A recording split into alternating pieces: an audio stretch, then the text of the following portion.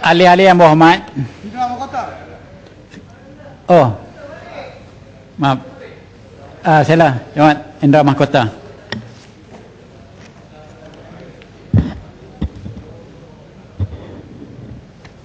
Terima kasih Datuk Yang Ketua.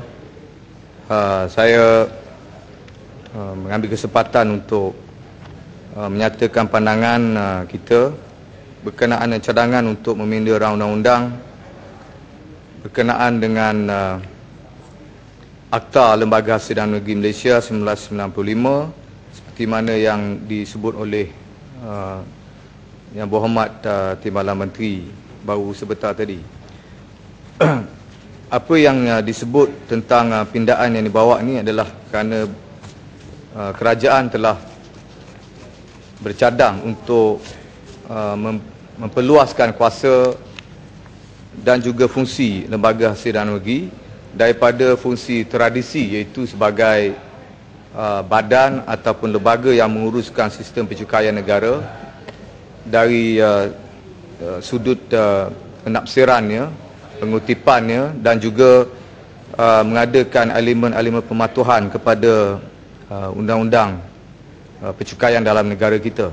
Saya baru dengar uh, baru sekejap tadi uh, pihak menteri uh, menyatakan dengan spesifik beberapa uh, isu dan frasa kerana inilah kali pertama kerajaan kita uh, mengusulkan atau mencadangkan satu undang-undang uh, di mana pihak berkuasa percukaian dalam negara kita iaitu Lembaga Hasil dan Negeri diminta untuk memain peranan yang uh, di luar tradisi.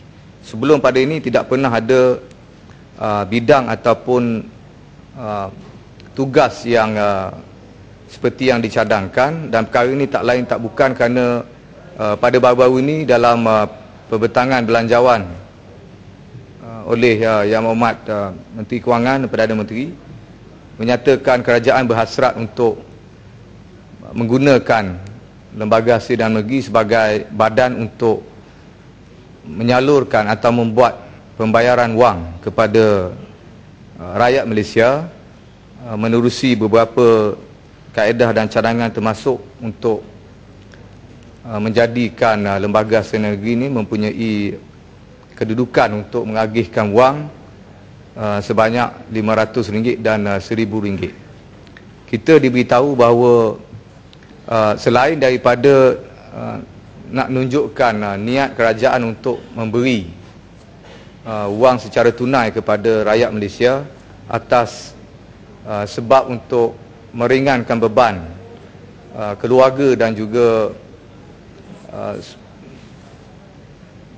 berkebetulan uh, kita uh, dikatakan uh, uh, dalam keadaan uh, krisis uh, kenaikan harga barang dan krisis Uh, perbelanjaan rumah tangga yang begitu berat.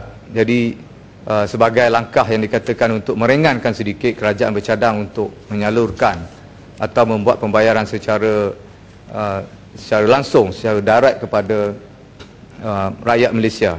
Dan dikatakan bahawa pembayaran itu akan dibuat uh, seberapa segera yang boleh dan ada di antara bayaran-bayaran itu dibuat uh, lebih awal. Sebagai contoh kerajaan telah pun melalui uh, Kementerian Ah, pendidik ah, Kementerian Pelajaran telah pun membuat bayaran untuk RM100 bagi setiap uh, murid sebagai contoh.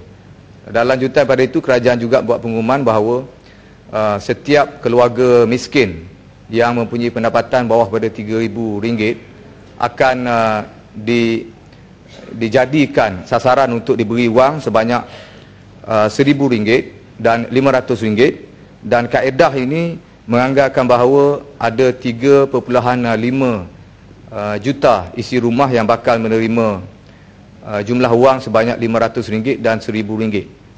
Dan tugas pelaksanaan untuk memberi ataupun me, mengagihkan wang ini uh, saya dengar diletakkan di uh, di bahu lembaga hasil dan negeri dan oleh kerana itu kerajaan terpaksa membawa pindah undang-undang ini kerana tugas untuk memberi wang uh, secara langsung kepada uh, rakyat Malaysia sebenarnya tidak ada tidak pernah menjadi tugas ataupun tanggungjawab yang diletakkan uh, oleh atau kepada lembaga hasil energi maupun jabatan hasil energi sebelum pada ini.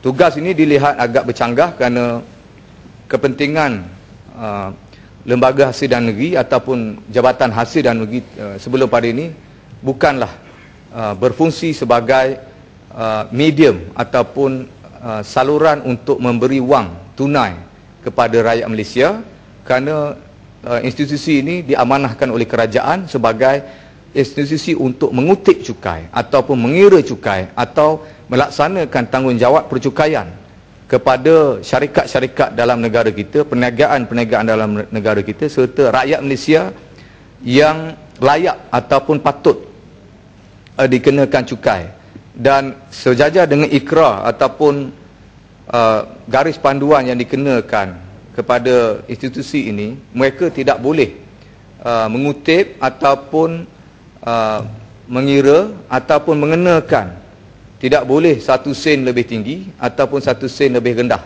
Maka saya sekali lagi melihat ini adalah satu-satu kepentingan untuk menjadikan uh, tugas asal mereka iaitu uh, mentadbir undang-undang percukaian kepada fungsi baru iaitu menjadi uh, agensi untuk memberi bayaran atau membuat pembayaran.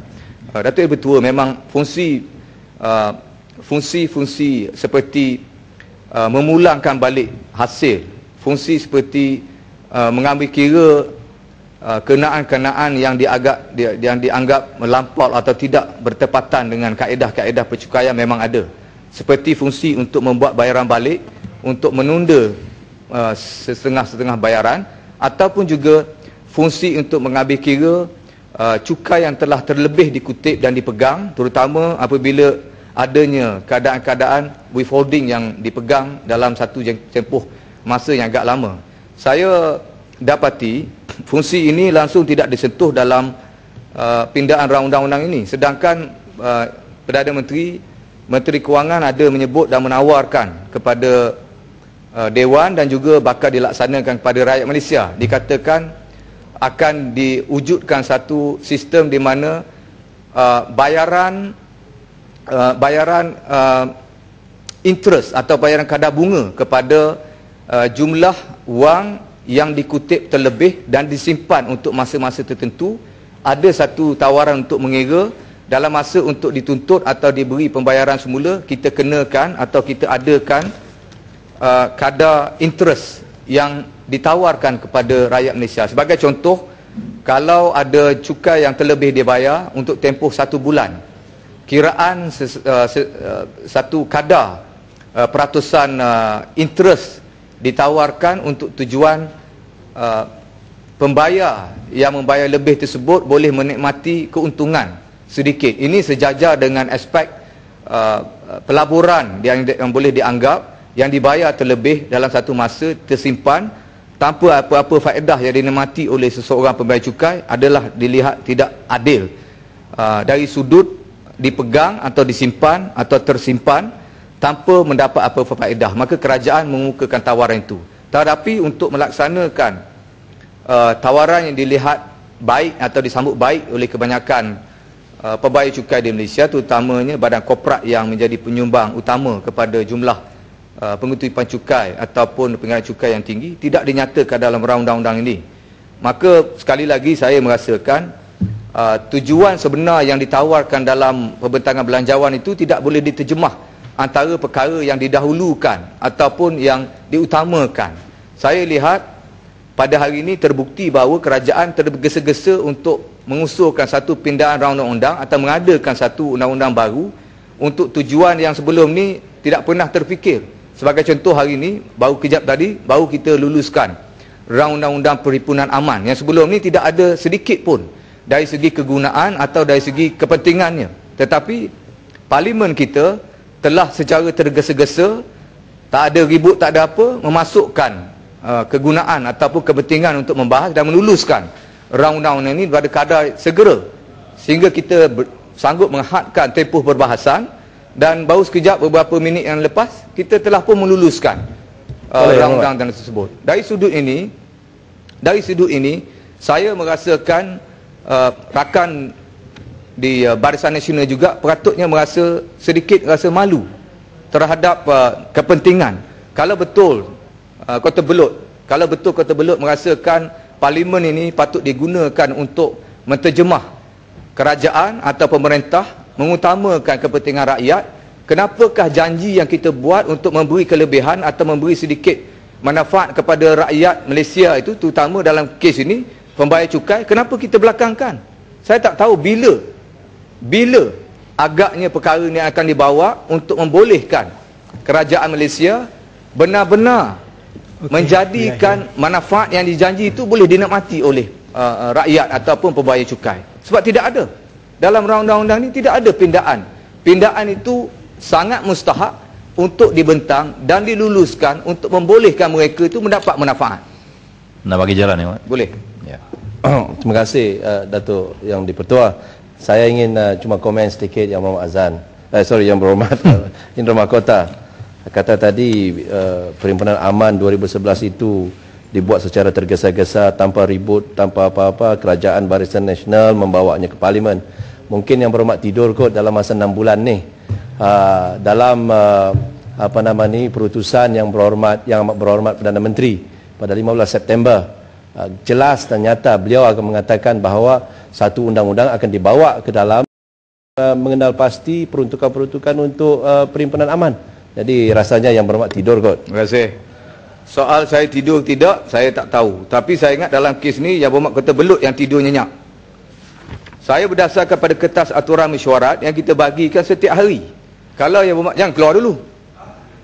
Sebab kalau uh, yang berhormat kota belut, uh, perhatikan Seminggu yang lepas, daripada seminggu yang lalu, tidak ada pun peraturan mesyuarat yang diletakkan dalam aturan mesyuarat, undang-undang yang berkenaan dengan perhimpunan aman. Tak ada. Yang adanya, semuanya rang undang-undang berkenaan dengan pencen, kewangan lembaga sedang negeri, rang undang-undang uh, penyelarasan pencen, saraan hakim dan juga rang undang-undang berkenaan dengan kewangan. Tak ada rang undang-undang perhimpunan aman. Itu daripada dua minggu atau seminggu yang lepas dalam aturan mesyuarat. Tetapi, minggu lepas, hujung minggu lepas rang undang-undang perhimpunan aman dimasukkan dalam aturan mesyuarat dan saya tak tidur. Memang saya perhatikan. Dan saya pernah tanya kepada yang berhormat menteri yang menjaga parlimen kenapa rang undang-undang ni tiba-tiba dimasukkan sedangkan dalam kertas aturan mesyuarat sejak dua minggu lalu tidak tercatat? Sama sekali. Tak ada. Rang undang-undang GST pun ada. Daripada tahun lepas lagi kita bawa kita tangguhkan satu persatu sehingga kepada sekarang. Tapi undang-undang perhimpunan aman tak ada. Kalau itu saya nak saya nak beritahu tidur masalah tidur tu mungkin tidak tapi kota belut saya rasa mungkin tak tidur. Cuma tak berapa endah kepada kertas peraturan mesyuarat yang kita bagi ini. Sa Memang saya, tak ada. Saya, saya membaca ikut ya saya membaca uh, tapi tidak salah yang pasal perhimpunan aman ni kota belut sendiri pun dah bagi uh, dah bagi pindaan tadi kalau nak keluar pun boleh lah. Terima kasih. Boleh Indra Mahkota eh, tanya sikit ya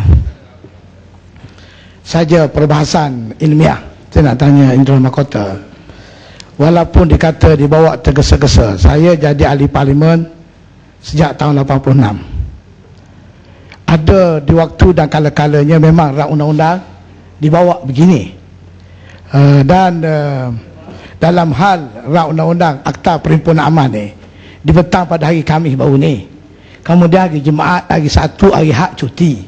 Ada tiga hari. Jadi maknanya lebih mencukupi kalau nak baca, nak teliti untuk dibahas pada hari ini. Jadi saya rasa tak berbangkit dikecuali kalau kita nak jadikan isu. Sekian terima kasih. Terima kasih uh, Pasir Mas. Saya tak saya tak kata benda ni tak boleh sebab uh, kerajaan boleh mengusulkan apa yang dirasakan berkepentingan untuk kepentingan kerajaan tak apa. Dalam masa dua hari pun boleh buat. Saya tidak tidak uh, mempertikaikan perkara itu. Cuma saya katakan ahli-ahli dewan tidak diberitahu dalam kertas aturan mesyuarat pada mana-mana yang meneliti aturannya sekurang-kurangnya dua minggu ataupun sepuluh hari ke belakang. Sebab kita perlukan pada persediaan. Saya rasa kebanyakan daripada ahli dewan kita ingin juga meneliti sesuatu undang-undang yang bakal kita persetujui atau bahkan bakal kita uh, tolak. Kita perlu juga masa untuk meneliti dan uh, soal berkenaan dengan kurang daripada satu minggu uh, notis tersebut saya tidak menjadi halangan dan saya saya tidak mahu cerita pasal undang-undang aman kerana Kota Belud yang bertanya. Saya tidak berminat. Eh, tak payah saya, cakap aman lah. Tadi saya tak mau tidak cakap. berminat. Cakap bab lain lah. Saya tak berminat. undang-undang sekarang lah. Tadi tak mau cakap. Lenggung Lari buat apa tadi? Bangun bangun. Saya beri peluang lenggung. Tak payah. Tak Saya mau beri layan peluang. lah. Tak mau cakap lah. Tak mau dengar. You nak nak bercakap ke tak mau? Kalau tak mau dengar tak apa. Saya tak berminat. Saya tak berminat nak bercerita, bercakap tentang rang undang-undang hak yang memang kerajaan atau BN luluskan baru kejap dalam keadaan tergesa-gesa. Cukup setakat itu saya kata. Saya saya nak tanya kepada menteri yang bertanggungjawab tentang rang undang-undang sekarang. Iaitu tujuan kita nak meminda. Nak masukkan perkara 10B hak yang sebelum ni tak ada bawa akta lembaga sinergi dan kita tahu tujuan dia memang nak jadikan lembaga sinergi sebagai medium ataupun saluran ataupun uh, kaedah mereka nak bayar wang kepada rakyat. Itu disokong bukan dia tak sokong. Saya tak katakan kita menentang perkara ni. Cuma saya katakan kenapa kerajaan nak bayar atau nak bagi duit kepada rakyat RM100 RM1000 tapi guna lembaga hasil yang kita tahu proses untuk terima RM500 dan RM1000 tu menjadi lebih rumit daripada sebelum pada ni itu persoalannya. Kenapa digunakan lembaga hasil dan negeri? Dan saya nak tanya dengan pasti. Pagi tadi, menteri yang menjaga kementerian ini ada memberi gambaran bahawa mungkin mungkin keputusan untuk melaksanakan memberi RM500 dan RM1000 ni akan diubah. Mana ada kemungkinan lembaga hasil dan negeri tak jadi digunakan untuk tujuan bagi duit ke orang sebanyak RM500 atau RM1,000. Nak gunakan kaedah lain untuk membuat pembayaran. Kalau betul keadaan itu nak diguna atas sebab baru ni ada rungutan daripada rakyat mengatakan bahawa kalau betul nak bagi RM1,000 atau RM500 kepada rakyat miskin, kenapa nak syaratkan rakyat kena pergi daftar dulu, mendaftar diri, mengisi segala dokumen yang perlu diisi di lembaga hasil dan negeri. Kenapa? Kalau betul kita niat kita betul untuk meringankan beban rakyat, terutama apabila uh, katanya untuk uh, meringankan uh, nak mulakan sesi persekolahan dan sebagainya RM1,000 RM500 betul. Nak beri serta-merta dengan segera kepada rakyat. Tetapi kenapa disyaratkan supaya pergi berdaftar dulu dengan lembaga hasil dan negeri? Pernah dulu dibangkitkan golongan miskin yang ada dalam negara kita yang disasarkan oleh pihak kementerian kata 3,000 3.5 juta orang. Ini sasaran yang kita nak nak buat. Cuba bayangkan bagaimana huru-haranya 3.5 juta rakyat Malaysia yang dianggap layak yang menjadi sasaran untuk diberi RM1,000 dan RM500 kita syaratkan mereka beratur ke lembaga hasil dan negeri di negeri-negeri ataupun di peringkat pusat di jalan duta untuk tujuan mendaftar dan mendapatkan nama serta alamat serta maklumat mereka dicatat atau didaftarkan dalam daftar uh, apa ni pekalan data lembaga hasil negeri untuk diproses barulah mereka dianggap layak untuk menerima RM500 dan RM1,000. Saya pernah bangkitkan, ramai ahli-ahli yang berhormat membangkitkan.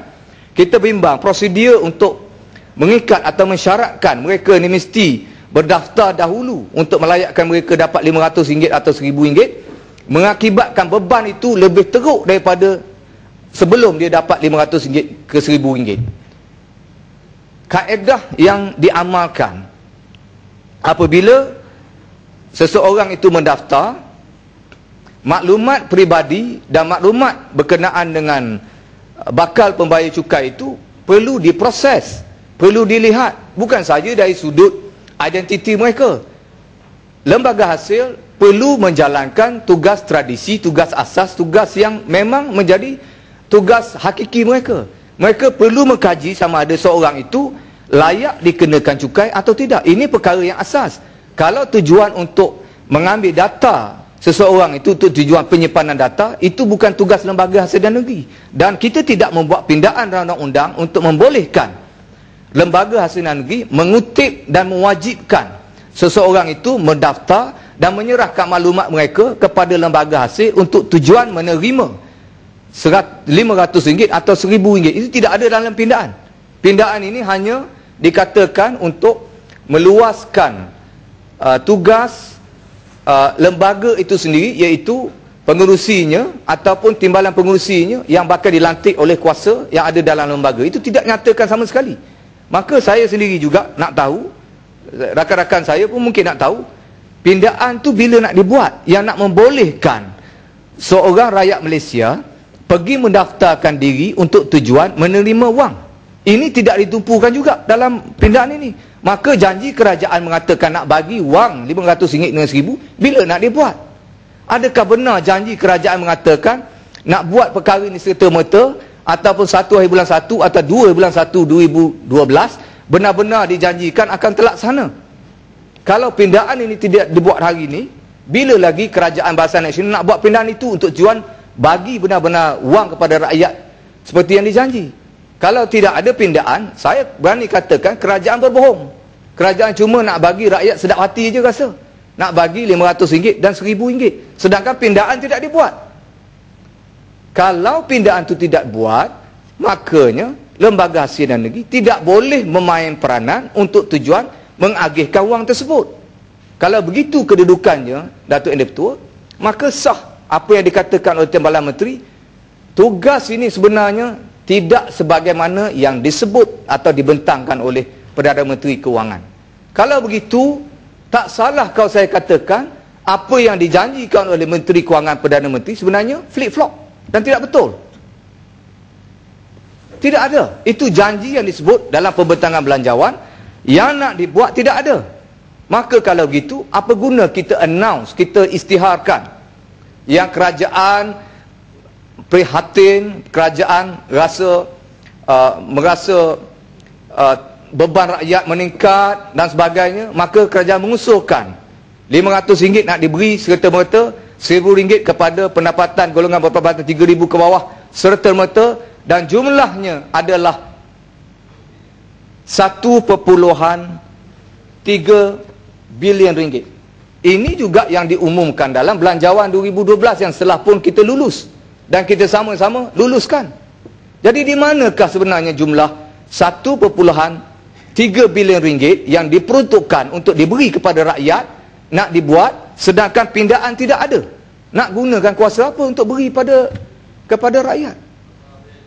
Jadi saya rasa saya tak tak apa. Kalau rakan-rakan uh, Barisan Nasional uh, mengatakan mereka tidak indah tak apa. Baiklah, saya minta dewan ini merekod. Tidak ada seorang pun rakan-rakan di di barisan uh, uh, di bahagian barisan nasional memikirkan janji yang sepatutnya barisan nasional kotakan kepada rakyat memberi RM500 dan RM1000 sebenarnya tak ada seorang pun yang membangkitkan perkara ini. Malah saya bangkitkan mereka minta supaya supaya berhenti bercakap berkenaan usul ini saya kita boleh rekod. Saya berani rekodkan perkara ini memang tidak ada seorang pun nak perbetulkan perkara ini dan Timbalan Menteri faham sekiranya tidak ada pindaan ini dibuat maka kerajaan tidak boleh melaksanakan urusan ni kerana undang-undang tu mereka yang tabih bukan kita. Kalau kita yang menjalankan urusan nak bagi duit kepada rakyat saya rasa kita tak perlu gunakan lembaga hasil dan negeri untuk untuk atau untuk tujuan uh, pendaftaran. Dan saya mendapat makluman juga ada di antara uh, ejen-ejen yang sekarang ni Datuk Imtua sedang menawarkan diri kepada golongan miskin yang sekarang tertanya-tanya bilakah mereka boleh dapat RM500 dengan RM1,000 mereka berhasrat dan berharap benar perkara ni mereka boleh dapat. Dan mereka tak tahu nak buat macam mana ada setengah tu mereka didekati dan mereka menawarkan khidmat kata saya boleh tolong untuk dapatkan RM500 dan RM1,000 cara mendaftarnya boleh beri saya salinan uh, kad pengenalan beri saya maklumat itu dan ini dan saya akan tolong daftarkan untuk membolehkan saudara ataupun siapa-siapa mendapat menjadi orang yang boleh mendapat RM1,000 atau RM500. Apa yang berlaku? Mereka ni sebenarnya ejen-ejen yang bertauliah, bukannya tak bertauliah. Ejen-ejen yang boleh kita lantik ataupun dilantik untuk tujuan ni, tapi mereka akan kenakan bayaran, perkhidmatan. Mereka bukan buat kerja percuma. Mereka akan kenakan bayaran. Jadi sekarang ni apakah kita nak biarkan isu ni berlarutan tanpa ada satu pengumuman yang betul-betul tegas dan betul-betul uh, terang ataupun jelas adakah kita nak biarkan suasana ini berterusan sehingga tahun depan Bilakah agaknya kerajaan benar-benar nak nyatakan memang nak bagi nak bantu rakyat kemudian cara membantu rakyat itu ialah jangan benarkan ada unsur penyelewengan atau unsur ada orang yang mengambil kesempatan pula terhadap orang yang memang sedia miskin dan sedia susah. Menteri di Jabatan Perdana Menteri yang menjaga EPU sendiri mengakui bahawa 67% rakyat Malaysia sekarang duduk di bawah paras pendapatan RM2,700 saja sebulan. Kalau ini diambil kira, sebab beliau mengatakan jumlah ini telah pun meningkat dari masa ke semasa kerana kajian semula telah dibuat untuk mengenal pasti golongan yang patut menerima dan boleh diterima dan kerajaan boleh buat uh, secara serta-merta. Ulangan yang disebut berkali-kali, uh, kerajaan bercadang untuk keluarkan bayaran ni secara serta-merta. Maknanya kalau tahun depan tu dianggap boleh dikata lebih pada 60% golongan sasar ni telah pun menerima atau telah mendapat apa ni uh, uh, wang yang dijanjikan oleh kerajaan ini. Tapi sekarang ni sudah pun hampir memasuki bulan 12. Dan kita tidak ada nampak bayangan di mana perkara ni boleh dilaksanakan dengan segera. Sebab itu saya mengambil kira apa yang saya dengar kerajaan nampak gaya ada satu kaedah lain pula. Bukan menggunakan saluran seperti mana yang di, di, dilaporkan. Dia kata nak buat melalui lembaga hasil dan negeri dan juga pejabat pos. Seperti di dalam ucapan belanjawan yang dibaca oleh Perdana Menteri. Perkara ini memang uh, perlu saya rasa ya kalau atas sifat membantu golongan miskin memang lebih perlu disegerakan berbanding dengan nak segerakan uh, menyekat ataupun mengusulkan undang-undang perhimpunan aman untuk diluluskan pada hari ini. Maaf uh, Datuk Yang Tua, jumlah tadi sebenarnya 1.8 bilion ringgit, bukan 1.3 yang dijanjikan. Ini ada diberitahu dalam buku uh, berbetangan belanjawan kita yang uh, saya masih lagi uh, uh, simpan. Begitu juga dengan pentadbiran ataupun uh, pelaksanaan undang-undang percukaian yang lain. Baru ni juga disebut dan ditanya berkali-kali menteri uh, memberi jaminan, memberi janji jawapan itu akan diberi uh, sebelum habis atau sebelum tamat uh, persidangan pada hari ini. Tapi sehingga sekarang bayang pun saya tak nampak. Sehingga saya tanya Timbalan Menteri dia pun lupa lah soalan itu. Tak usah kata nak jawab atau nak beri uh, jawapan. Soalan pun lupa dah. Saya tanya bagaimana pengumuman kerajaan berkenaan dengan kedudukan pengecualian duty stamp untuk rumah. Yang dijanjikan akan ada jawapan atau diberi tahu semula kerana tugas membayar uh, stamp duty juga akan dipungut oleh lembaga hasil dan negeri sebagaimana kita bincang pada hari ini. Sepatutnya ada pindaan dibuat. Kerana ini selaras dengan gendang yang kerajaan pukul kuat-kuat kata kerajaan nak wujudkan nak bina banyak perumahan bawah skim perumahan uh, prima yang dikatakan untuk tujuan membantu golongan yang, yang miskin dan tak pernah ada rumah dalam negara ini. Pagi tadi pun menteri menjawab. Menteri yang bertanggungjawab pada perumahan pun menjawab bahawa dasar perumahan negara disebut. Semua media uh, perdana siarkan berita tengah hari tadi. Kesungguhan kerajaan nak galakkan supaya rakyat Malaysia boleh beli rumah. Sebab tu kerajaan kata usulkan supaya ada pengecualian dalam pungutan duty stamp atas surat cara perjanjian pembelian rumah untuk skim rumah pertamaku. Yang disebut dulu dikatakan rumah yang bernilai uh, kurang daripada uh, 300 ribu. Sehingga 350 ribu boleh diberi pengecualian 50% eh, kemudian baru ni untuk galakkan lagi naikkan kepada had pinjaman 400 ribu untuk pengecualian 100% saya bertanya tentang soalan itu sampai sekarang. Yang mana satu yang betul pun tidak ada. Sampai sekarang. Itu janji. Yang tak janji tak usah kira lah ini dijanji sendiri. Saya tanya kali kedua kepada pihak yang bertanggungjawab soalan pun lupa.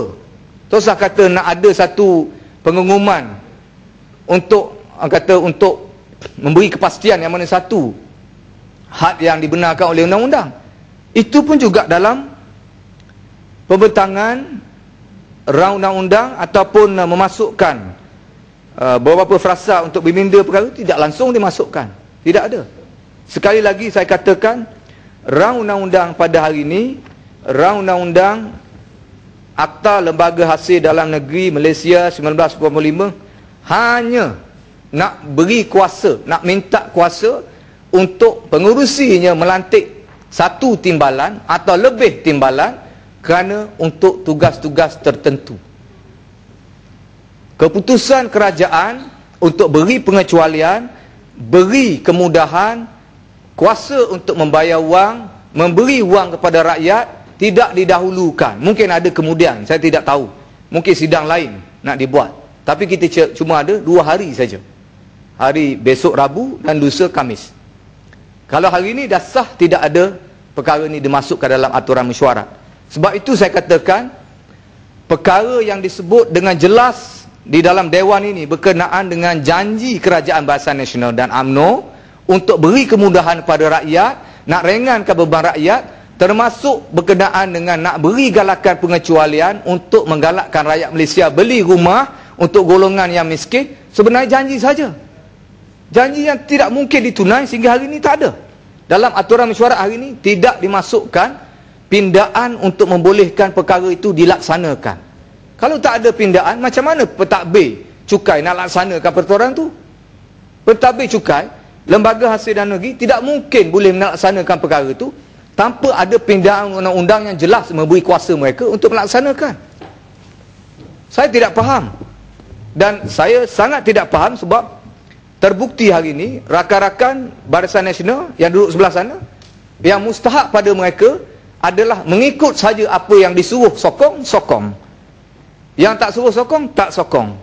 Sebab tu saya katakan setakat ni tak ada seorang pun Tuan Deputua yang cuba mengingatkan kita semua yang kerajaan sendiri nak buat sebenarnya masih boleh tak masih tak boleh dibuat kerana kita belum lagi mengemukakan satu rang undang-undang pindaan untuk membolehkan cadangan itu dilaksanakan.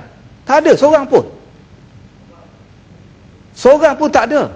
Sehingga petang ni satu orang pun tak ada belah penyokong kerajaan. Saya katakan semua rakan-rakan dalam Barisan Nasional di sebelah sana memang bunyinya menyokong tapi sebenarnya menyebabkan kerajaan menjadi tercemar dan tercalar imej dia macam mana kita boleh usulkan kononnya nak membantu rakyat meringankan beban rakyat sedangkan pindah undang-undang tidak dibawa adakah kita nak langgar atau nak bulldoze saja sebagaimana kita bulldoze undang-undang pagi tadi ini perkara yang tidak menasabah. Tidak menasabah. Saya saya bukanlah pakar ataupun orang yang tahu berkenaan undang-undang dan mahir. Tetapi perkara ini tidak perlu seorang pakar pun. Bagaimana kita nak laksanakan satu perkara yang undang-undang kita tidak pindah atau tidak beri kuasa. Dan ada banyak lagi 21 perkara yang menyentuh tentang bidang cukai yang akan dilaksanakan oleh lembaga hasil dan negeri.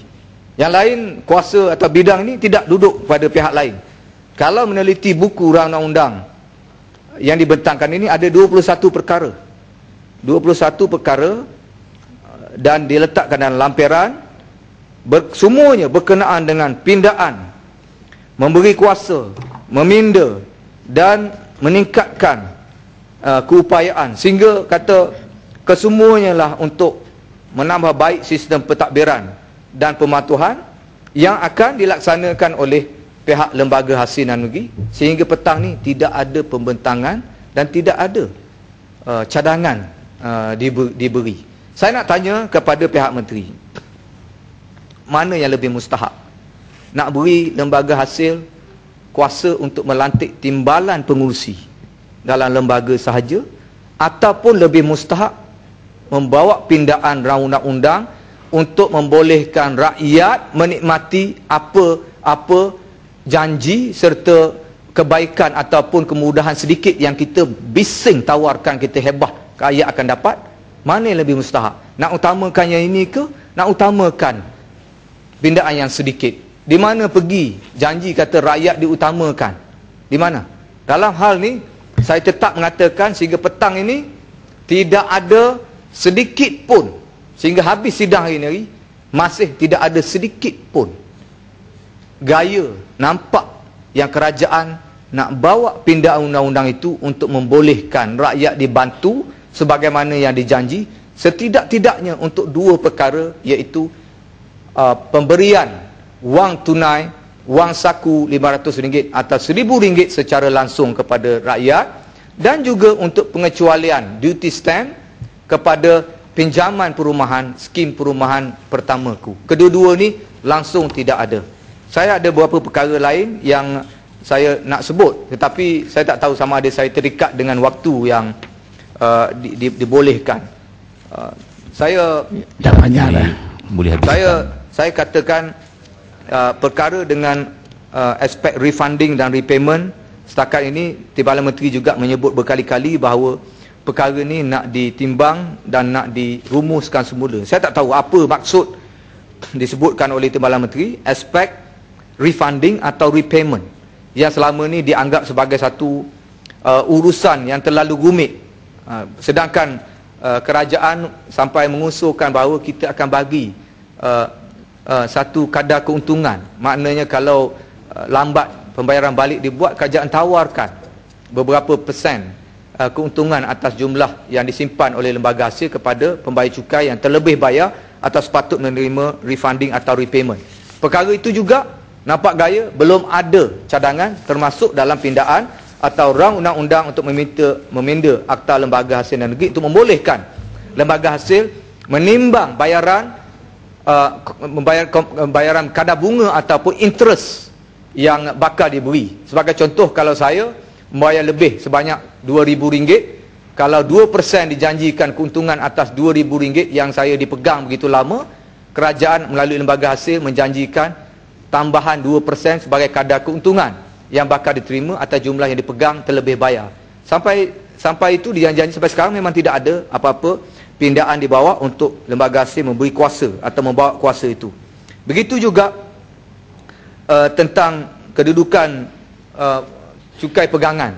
Yang ini saya sebutkan sekali lagi sebab uh, saya rasa tidak menasabah Datuk M Tua kalau Timbalan Menteri atau pihak uh, menteri uh, tidak ingat atau terlupa uh, soal withholding uh, cukai pegangan withholding tax bawah uh, section 107 ini berkali-kali seingat saya seingatan saya berkali-kali perkara ini disebut berkali-kali jugalah menteri menjanji jawapan ini akan diberi sekiranya tidak diberi secara, secara lisan secara bertulis. Berkali-kali perkara yang sama aspek ini. Saya rasa biarlah uh, disebut uh, 107 ini Pihak Menteri sepatutnya terus memahami apakah persoalan yang berkali-kali disebut. Kerana uh, saya fikir eloklah saya bawa dalam peringkat jawatankuasa kerana ini menyentuh tentang fungsi yang spesifik itu soal cukai pegangan. Terima kasih Datuk M. Tua.